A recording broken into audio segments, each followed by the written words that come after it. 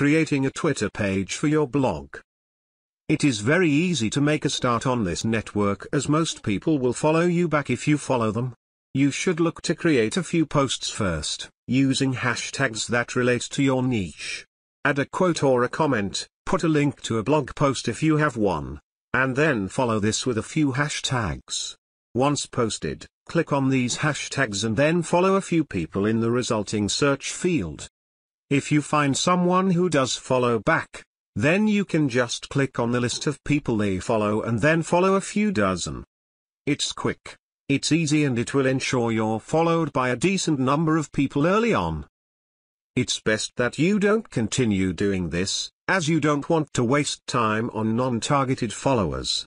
But to stop your Twitter page from being empty, it's worth a little effort. In the long run, if you just focus on using hashtags in everything you post, if you comment on trending topics and if you make comments to accounts with high followers and try to engage them in conversation, then you will build your following in a more natural and worthwhile way.